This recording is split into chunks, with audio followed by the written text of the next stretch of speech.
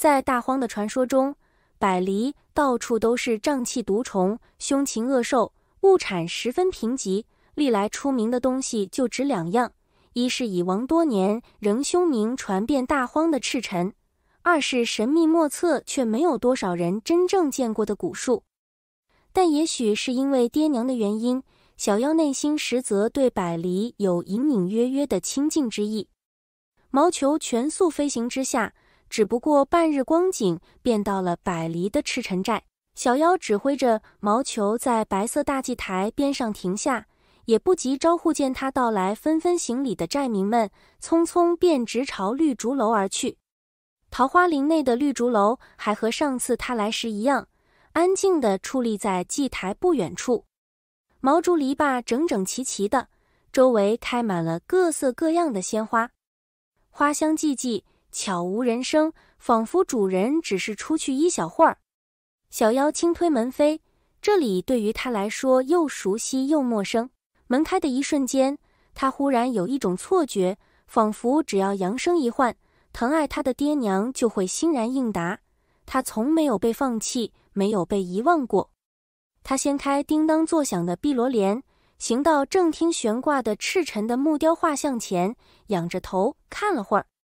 百里荒漠中，爹爹身化桃林，只为了给娘和自己一个迟到了四百年的拥抱。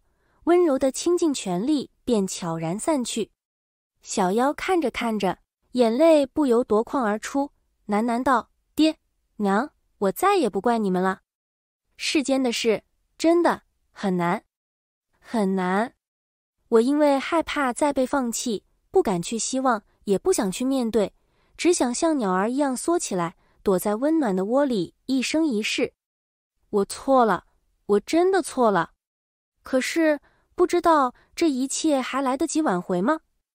当年四舅母不惜抛下枪炫，毅然决然随着四舅舅去了。爹爹为了娘，身体化成了桃林；娘为了解开我心里的结，只等了四百年才和爹爹去团聚。我原来一直不明白。一直想着，只要我的心硬，就没有人能伤得了我。只要选择把我放在第一位的人，就已足够了。哪怕是上次以为景被枪炫害了，我心灰意冷，觉得了无生趣，甚至想斩断红尘，接任王母。只如同溺水之人想要抓住一根救命稻草一般，我辜负了涂山璟。即使我和他成婚。心里却还是空着好大好大一块，就算有他一起陪着，我还是觉得活着如行尸走肉，了无生趣。和他一起看在美丽的风景，也是心意难平，只因为身边陪我看风景的人不是我心底盼望的那个，所以我现下不想死了，我想要好好的活下去，和香柳一起活下去。我还想带他来看你们，你们放心。他对我很好，很好，真的很好。他的泪如雨下。虽然我知道他的心中有和我一般重要的事物，而我也永远不可能放弃亲情。仿佛轮回一样，兜兜转转，我和他又走上了你们的老路。但这次我要顺从心意，去争取一回。爹娘，你们在天有灵，请保佑我。他拭了泪，从赤尘画像边的壁上摘下了弓。这柄弓弓身漆黑，像是吸入了沉沉夜色，没有一丝光泽。弓脊上刻着古朴简单的红色花纹，弓身爆出道道红光。弓忽大忽小，仿佛随时可能上琼壁落下进黄泉，寻找主人心心念念之人。弓的上面镌刻着几个古朴难辨的字，他虽然不识，但是听娘亲说起过，那是以心换心。小妖将盘古弓收入怀中，跪下磕了三个头，最后留恋地看了一眼屋中的一切，决然地出了屋子。他不欲久停，唤来毛球就想离开，却没想绿竹楼外一位白发苍苍的老者叫住了他：“姑娘，你如此行色匆匆，一脸忧色，莫不是有什么为难之处？”巫王略带担忧地道。听得巫师们来禀报说，上次来过的西陵巫女和赤尘的女儿回到寨子，他就及时赶来，恰好撞见小妖。小妖微微错愕，立刻想起上次答应过巫王，只要寻出解除情蛊的方法，就传授给他，也算回报蛇梅儿传授他蛊术的恩情。心中一动，便停下步来，道：“道正有数件不解之处，要向您请教。”巫王诚恳道：“请教不敢。姑娘是西陵巫女和赤尘大人的女儿，百离族虽然能力有限，但为了保护姑娘，也可肝脑涂地。”弹弓驱策，姑娘且请说来。小妖轻咬着唇，说出来的话却石破天惊。我身上的情蛊解了，却见巫王用一种惊诧莫名的眼神上下打量了一下，斩钉截铁地道：“绝无可能。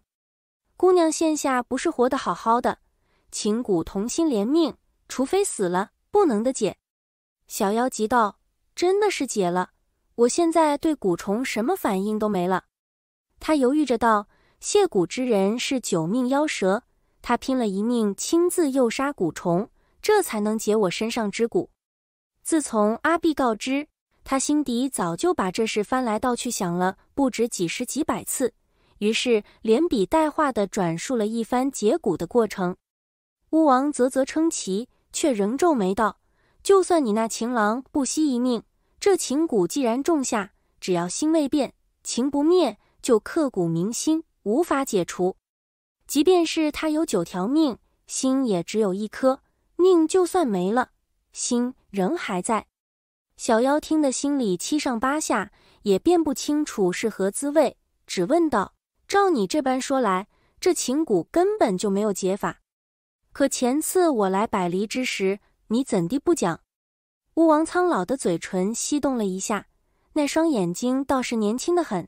上回有位公子和姑娘一起来的，貌似你将他看作情郎，而这股偏偏又不在他身上。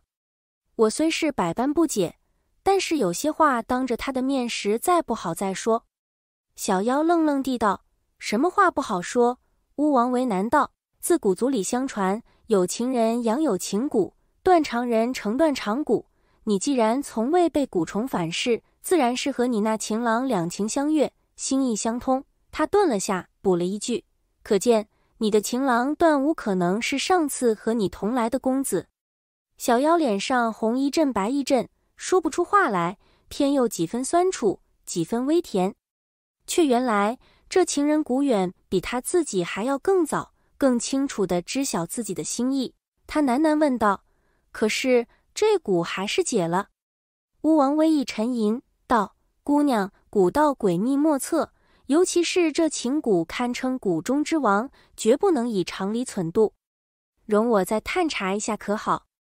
得到小妖点头应允后，他便动用自身蛊虫探查良久，随即又让小妖靠近，细细的探看了他的瞳孔，再一寸一分的把他十根手指查看了一遍，才拍着大腿叹道。果然如此，你的情人蛊并没有解，只是暂且休眠。怎么可能？这一惊可是非同小可。小妖手上不查，一把从毛球身上揪下了数根羽毛，惹得毛球痛嘶一声，翅膀扇动，从地上掀起尘土，盖了小妖一头一脸。小妖顾不上胆土，忙抚着毛球说了两声对不住，抚慰了鸟心，急急问道。究竟是怎么回事？巫王抬手示意他稍安勿躁，又问了小妖当年中蛊的始末和中蛊后的具体感受。当听他说只有香柳能对他的情况感同身受，他却不能感受到相柳的种种时，沉吟思忖了片刻，才缓声解释道：“赵姑娘所说，你其实并不清楚这情蛊首尾，先是阴差阳错误中在亲人身上。”之后才转移到你那情郎处，如此则二者缺一不可。一者其实蛊未曾真正种上，根基未稳；二者他必定心甘情愿，否则这蛊万不能种。而那山核桃是蛊虫容器，在你二人中蛊成功后才告消失，就是一大明证。